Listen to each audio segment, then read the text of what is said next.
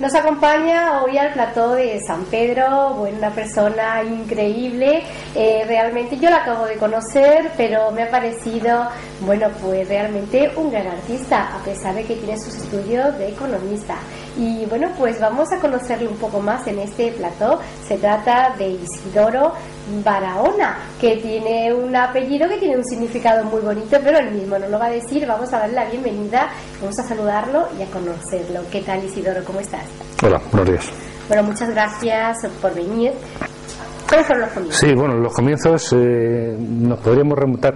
Eh, hace pocos años mi, mi madre me dio un- una, una anécdota que yo no conocía, ¿no? Y es que a los, a los siete años la pedí la pedí meterme en un, en un grupo musical de estos instrumentos populares, de bandurrias, guitarras, o sea que desde pequeñito, yo no sabía que desde tan pequeñito, ¿no? Pero parece ser que empecé por ahí. Y luego, bueno, pues he estado toda mi vida estudiando, pues he estudiado un poco piano, conservatorio, he estudiado por mi cuenta también, con músicos de Madrid, eh, de jazz, he estado estudiando armonía de jazz, complementando eso con los estudios reglados del conservatorio, ¿no? Y bueno, pues toda la vida ahí, eh, compaginando el trabajo con, con mi afición, ¿no? Con mi, y bueno, pues ahora ya se ha convertido un poco en, un poco ya estoy haciendo un cosa- eh, cosas un poco a nivel semiprofesional o profesional, estoy grabando discos, he estado tocando con algunos grupos ya semiprofesionales y bueno, pues ahí, ahí ando. Guitarra está estudiando guitarra clásica y está estudiando también cinco años con, con José María Saiz, que es un músico muy bueno de jazz de Madrid, y con cinco años y luego con Andrés Olaegui, eh, también está estudiando guitarra de jazz y armonía jazz.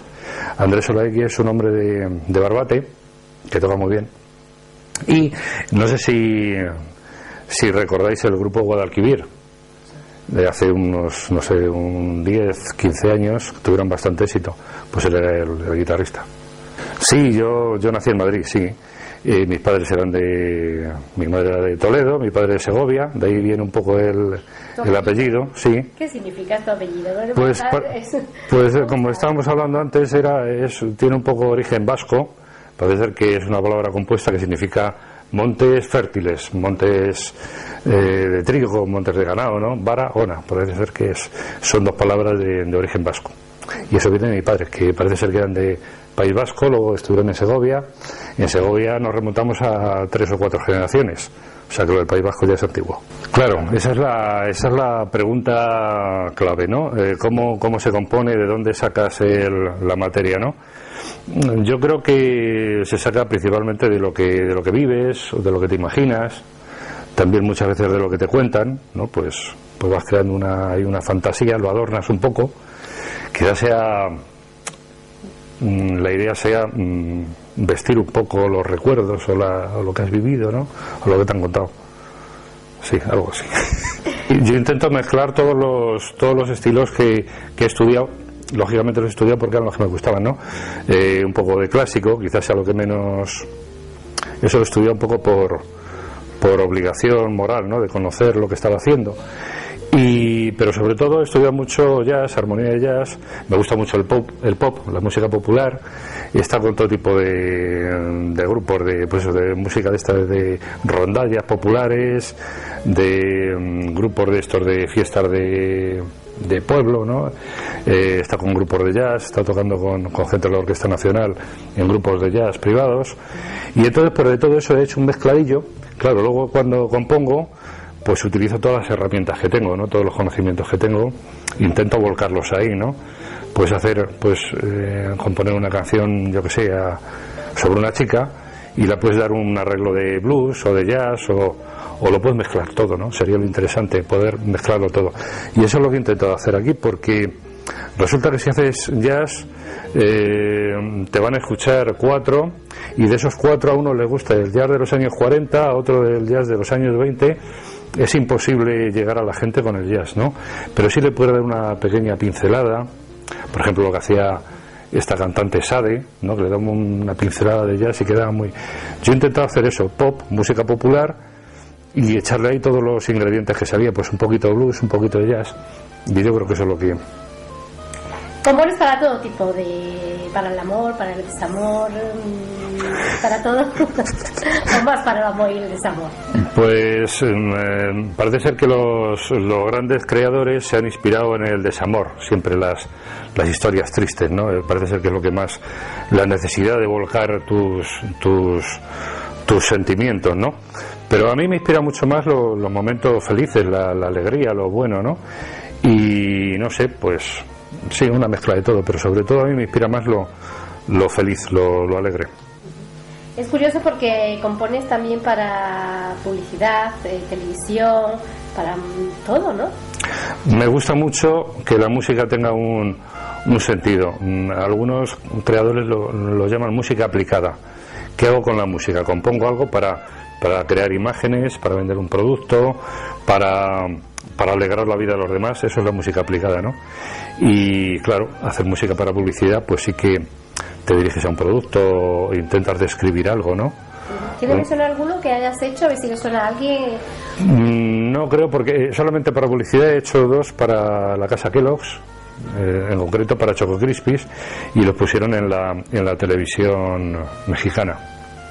El muñequito de Choco Crispies aquí en España son unos monitos con una gorra, pero el muñeco de la televisión mexicana es un elefante que se llama Melvin entonces, bueno, pues era un anuncio así con unos niños que iban en una nave espacial y se salvaban a través de, los Choco ¿no? y la música iba así como una cosa muy mm, sinfónica, espacial, como con tensión, ¿no? Como de película de, acción. Y eso era, no tenía nada que ver con, con la música mía que yo, que yo compongo, ¿no? Y, bueno, pues intento tocar todos los palos, me gusta me gusta tocar todos los palos, ¿no? Intentarlo, intentar hacer algo bueno. Pero mi música lo que hago, pues eso, es cosas más, más personales y echando un poco las gotitas estas de jazz y de blues, sí. Y diríamos, tiene también tu musa de la inspiración, eh, no sé, o cuando ah. quieres componer, te sientas y compone, o te llega así como la musa inspiradora. Buena pregunta, buena pregunta. Pues, mm, no sé, yo creo que la mujer es una fuente de inspiración para el hombre eterna, ¿no? Y, y muchas veces estoy soltero y muchas veces pues toda mi, ¿cómo se dice?, sensualidad o sentimientos puede ser que se vuelquen de esa forma. Esa puede ser la musa, la musa inspiradora quizá del amor, los sentimientos. Eh, diríamos que, que todas las canciones de los dos CDs podríamos decir que tienen nombre y apellidos, ¿no? Todas las canciones. O sea, que todas van pensadas mm, pues, en hechos reales, ¿no? Como diríamos, ¿no? Pues casi. Son reales, son reales.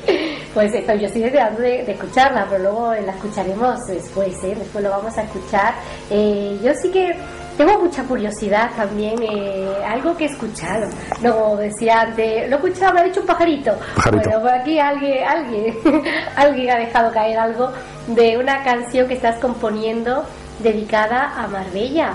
Ah, sí, sí. ¿Cierto? Cuéntanos. Sí, sí, la verdad es que tengo mucha ilusión, me hace mucha ilusión, me han encargado que hiciera algo que que fuera imagen de, de, Marbella, que representara Marbella o que describiera Marbella, no sé cómo explicarlo bien, pero vamos, que tenía que hablar de Marbella, ¿no?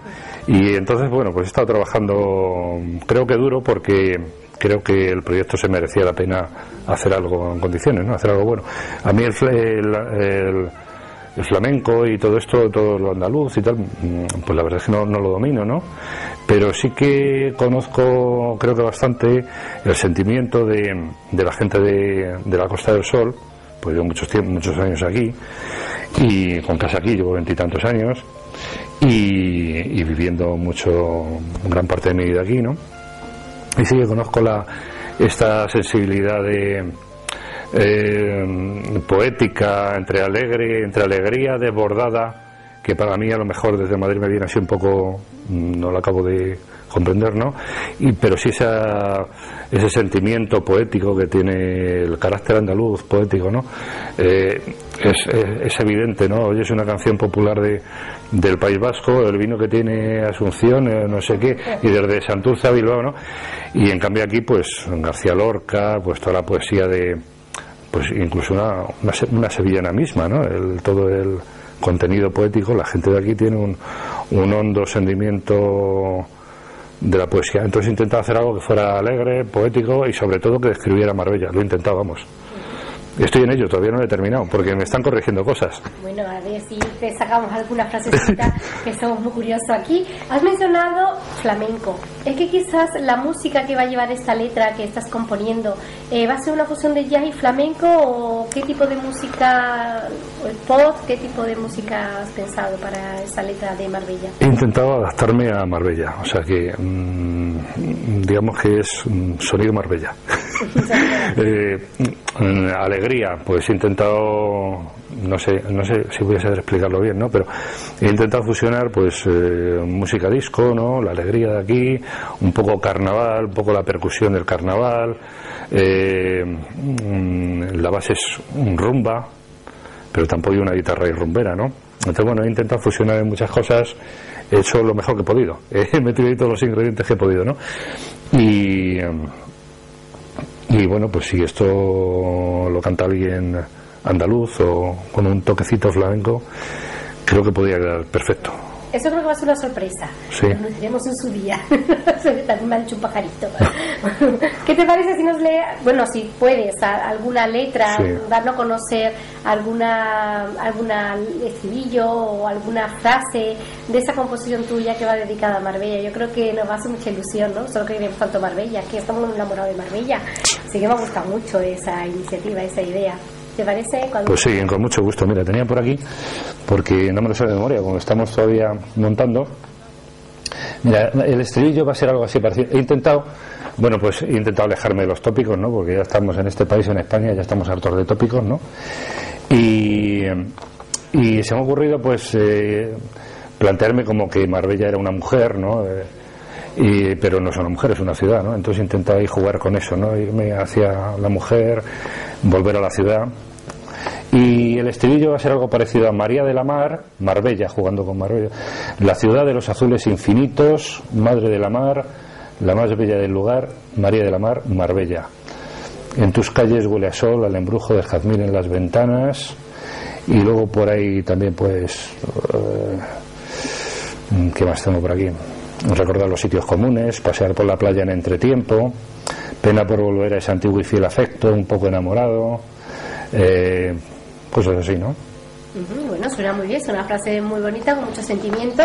Eh, hemos visto que es un, un autor, un artista mm, de mucho sentimiento y si no, no, no sería posible componer como él lo hace. Y bueno, la verdad es que estamos sorprendidos, pero más nos va a sorprender escuchar eh, pues esa guitarra y escuchar esa voz, ¿te parece? Con mucho Vamos a hacer una pequeñita pausa, vamos a escuchar ahora eh, pues a este gran artista, porque a mí me ha encantado y a vosotros también seguro que os ha enamorado. Pues eh, con la música de este gran artista vamos a continuar en breve.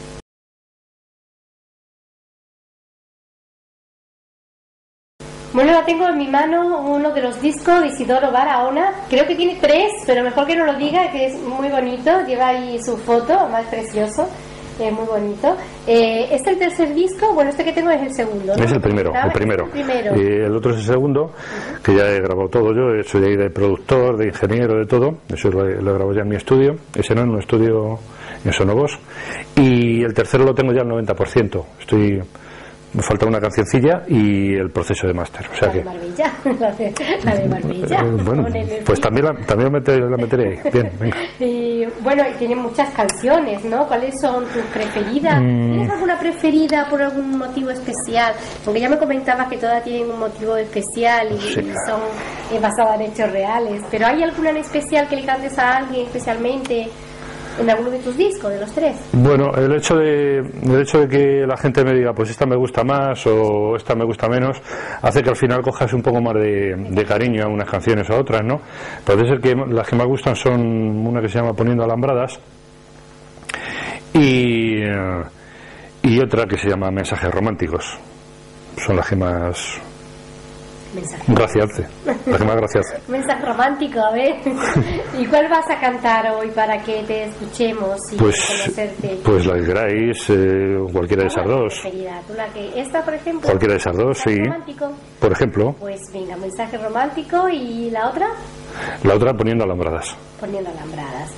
Bueno, pues eh, nos vamos a quedar todo escuchando a este gran artista Isidoro Barahona, mm, que bueno, pues eh, lo poquito que hemos hablado con él, pero yo espero que triunfe cuando tenga esta canción de Marbella. Tenemos una cita pendiente para que vengas a presentarla y bueno, a nosotros nos encantaría y que tengas muchísimo éxito con tu música, con tus composiciones. Y bueno, quién sabe, algún día a lo mejor tenemos aquí para empezar el programa música eh, y letra de aquí de Isidoro Barahona, ¿por qué no? ya luego le propondremos algo. Con mucho pues gusto. Vamos eh, ahora a pasar a escucharte, que estoy deseando, y yo creo que todos nuestros telespectadores también. Muchas gracias. Enhorabuena. Muchas gracias a vosotros.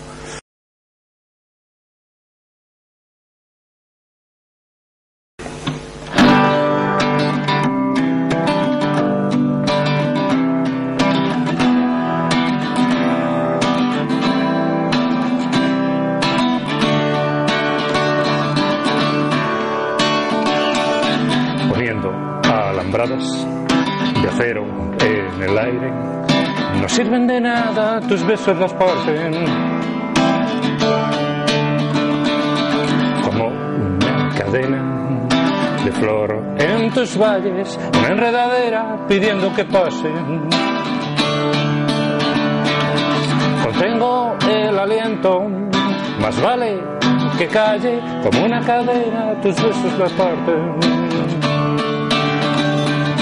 las fases de la luna que alumbran tu calle como una cadena.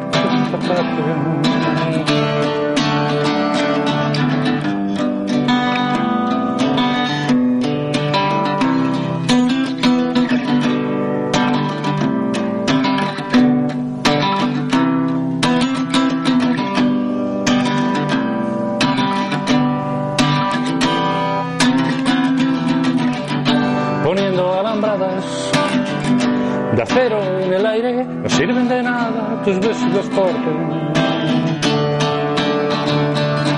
Las fases de la luna que alumbran tu calle como una cadena, tus besos la parten. Melodías encadenadas en la bolsa de una abeja, paraísos fluorescentes por los ríos y los valles y sus risas de dolor de muela sonidos refrescantes, melodías alucinantes, son buenísimas razones para hacerte mil canciones y que bailes. Si bemol, fa y mi bemol, son buenísimas razones para hacerte mil canciones y que cantes.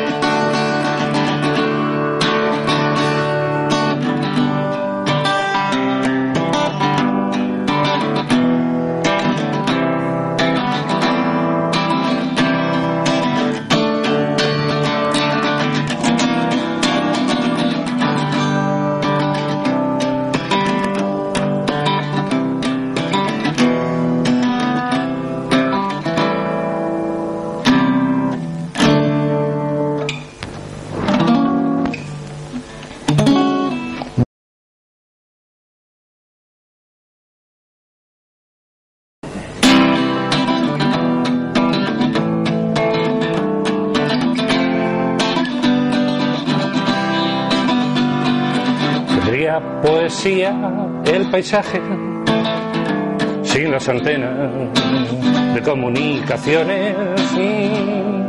Serían libres los pájaros en los espacios aéreos sin las ondas eléctricas. Te aseguro que ya nos envían mensajes románticos. No los encontrarás por mucho que busques en la memoria de tu móvil. Ana por los cielos, con esas manos blancas, Ana sin espinas, sus dedos sobre teclas de plata Te aseguro que ella sí envía mensajes románticos. Prueba a buscar estrellas y copitos de nieve en la memoria de tu móvil.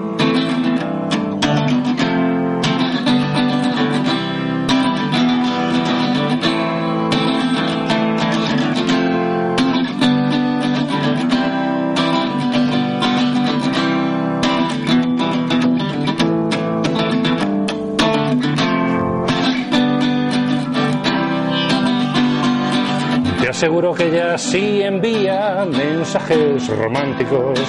Prueba a buscar estrellas y copitos de nieve en la memoria de tu móvil.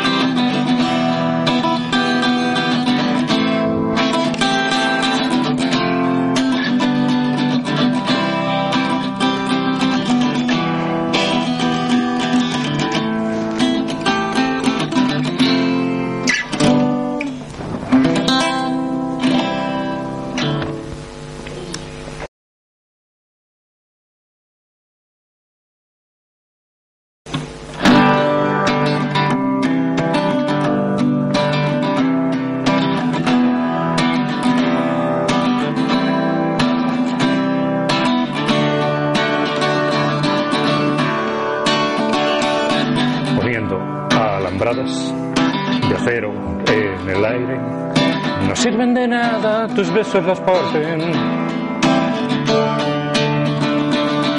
Como una cadena de flor en tus valles, una enredadera pidiendo que pasen. Contengo el aliento, más vale que calle como una cadena, tus besos las parten las fases de la luna que alumbran tu calle como una cadena.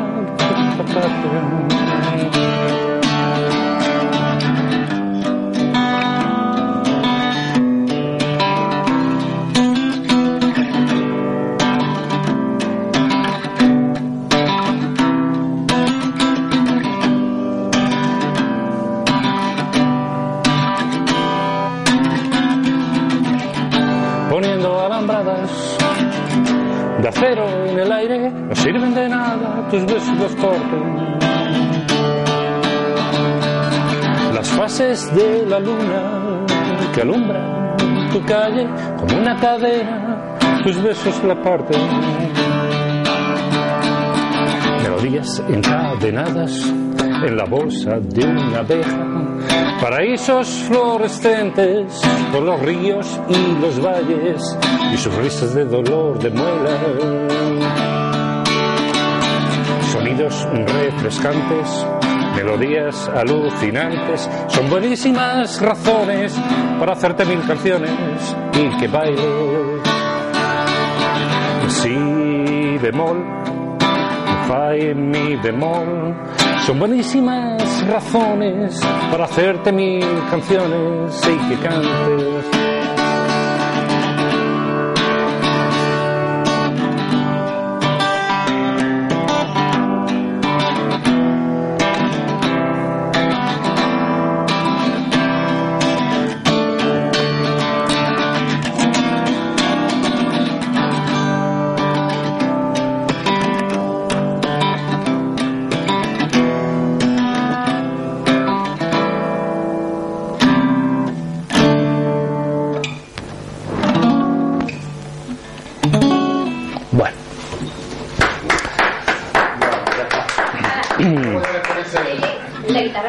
¿Otra? Otra y luego poner la que más os guste. Muy bien. Eh, eh.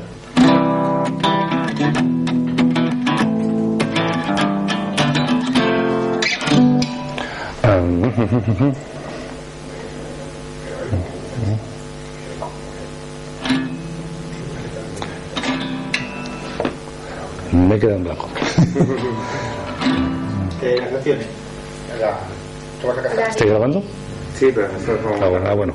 ¿Qué va- qué va? Estaba pensando, a ver, bueno. La de la alambrada, la otra cuál de... Por eso, la que me has dicho, pero eh, estaba, estaba, estaba para acordarme. Eh, Berto, Berto, ¿No vais a poner luego el playback? No, así. Puede poner, sí, no creo que se pueda. ¿no? Porque es que queda mejor el playback, porque el sonido en, en todo en general. um, Ahí no está, tiene que estar. Ahí no está, Ahí no está, eh, tiene que estar allí. Dame, dame, dame, dame, dame, dame, bendito. Ahí. Mensaje romántico. ya, ya me ha venido. Me dijiste mensajes románticos, ¿no? Sí. Como tú quieras. Vale.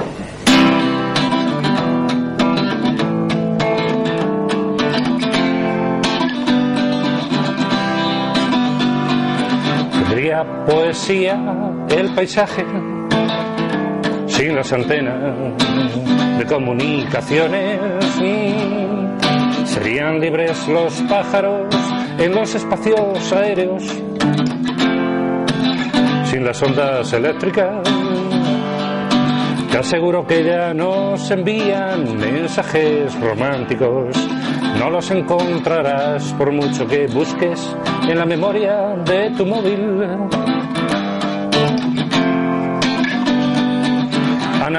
Por los cielos.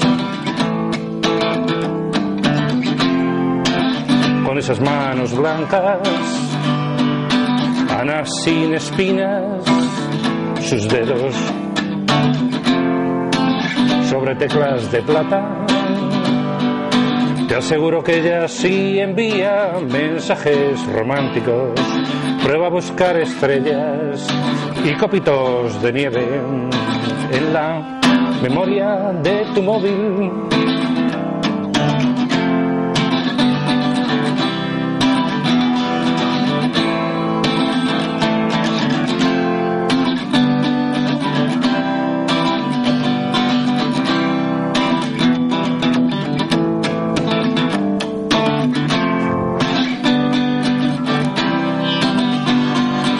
Te aseguro que ella sí envía mensajes románticos.